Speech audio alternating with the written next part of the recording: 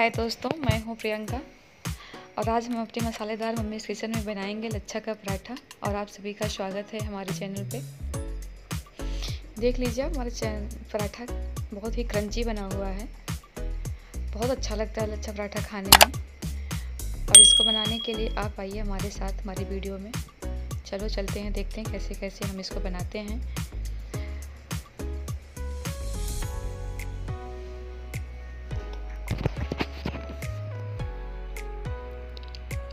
लच्छा पराठा बनाने के लिए सबसे पहले हमको लेना होगा आटा। हम नॉर्मली गेहूँ के आटे से ही बनाएँगे। कोई कोई इसको मैदे से भी बनाता है, लेकिन हम गेहूँ के आटे से ही बनाएँगे। क्योंकि तो गेहूँ का आटा हमारे घर में हमेशा अवेलेबल होता है। और नुकसान भी नहीं करता उसी से बनाएँगे। मैंने दो तीन कप गेहूँ का आटा ले लिया है। और मैं फिर पानी से इसको गूँथूँगी। और मैं इसमें एक चीज़ भूल गई हूँ डालना। अभी मैं इसको डालती हूँ इसमें। वो है अजवाइन और नमक। आप पहले ही डाल दें। मेरी तरफ़ भूले नहीं। जी हाँ। ये मैंने अजवाइन भी डाल दिया है एक चम्मच।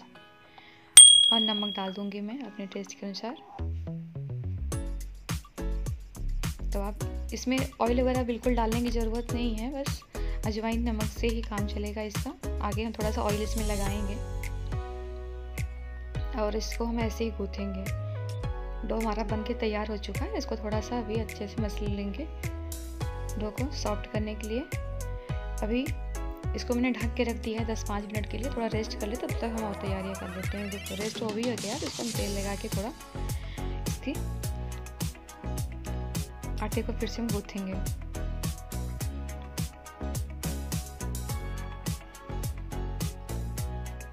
तब तक दोस्तों आप हमारे चैनल को सब्सक्राइब कर दें शेयर भी करें लाइक भी कर दें। सब्सक्राइब आप प्लीज़ ज़रूर करें। आटा हमारा दोस्त तैयार हो चुका है, इसको हम चल रहे हैं बनाने की तरफ़। मैंने एक छोटी सी लोई ले ली है। जैसे आप रोटी बनाते हो, आप उसी तरह से इसको ले लें।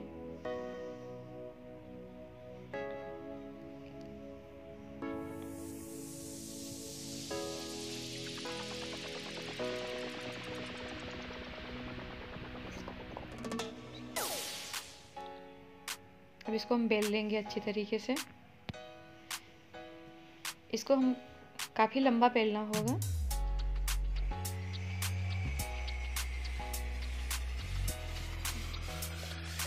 मैंने इसमें थोड़ा सा आटा लगा दिया था फिर से बेलने के लिए। अब मैंने इसको अच्छी तरह से बेल लिया। अब इसमें हम लगाएँगे ऑयल। ऑयल हमें थोड़ा अच्छी तरह से लगाना होगा। कम नहीं लगाएँगे। क्योंकि इसी से क्रंचीपन आएगा आगे चल के। मैंने अच्छे से ऑयल को अप्लाई कर दिया है थोड़ा सा इसमें इसमें सूखा आटा डालेंगे। अब इसको हम ऐसे एक दूसरे के ऊपर रैप करते हुए चले जाएँगे।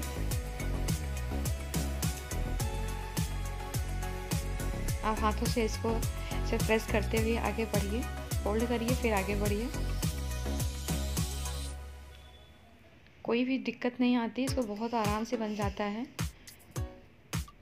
आटा को थोड़ा सा आप टाइट ही लगाइए, बहुत नरम आटा रहेगा तो थोड़ी दिक्कत आती है बनाने में।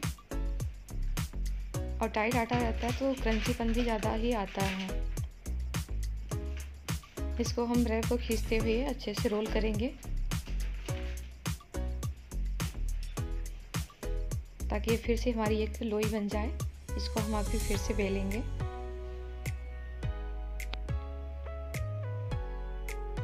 देखिए, हमारा मतलब लोई बन गया है हमें। अच्छी तरह से इसको हम प्रेस कर देंगे ताकि वो बाहर का कोना बाहर ना निकले।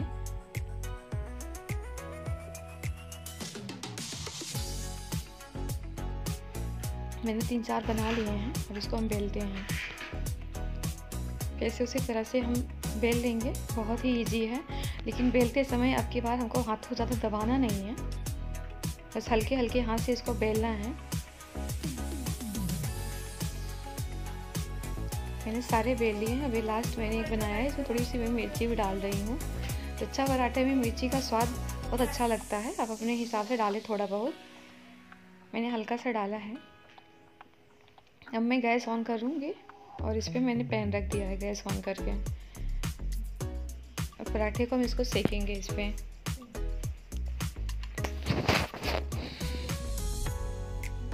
इसको उल्टते पलटते हुए हम इसको पकाएँगे। ये हल्का सा हमारा सीख जाए, तब इसमें हम ऑयल को ग्रीस करेंगे।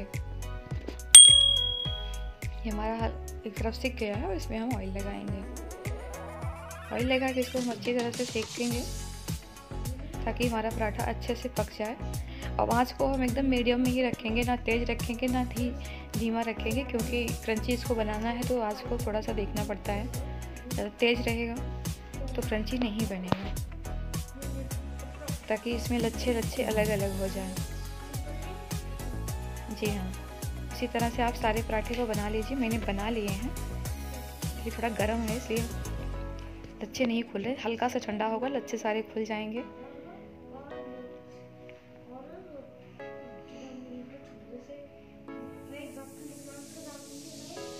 मैंने सारे बना लिए हैं और इसका देखिए, मैंने सर्व भी कर दिया है। देखिए, सारे लच्छे इसके अलग हो जाते हैं। बहुत ही क्रंची बनता है, बहुत ही अच्छा लगता है खाने में, स्वादिष्ट भी होता है। आप भी बनाइए इंजॉय करिए, खाइए और हमें भी कमेंट करिए, बताइए कि हमारा पराठा कैसा बना था। आप हरी चटनी के साथ, सब्ज़ी के साथ, किसी भी सब्ज़ी के साथ आप इसे परोस सकते हैं, खा सकते हैं इंजॉय कर सकते हैं। और दोस्तों, हमारे चैनल को सब्सक्राइब ज़रूर करें।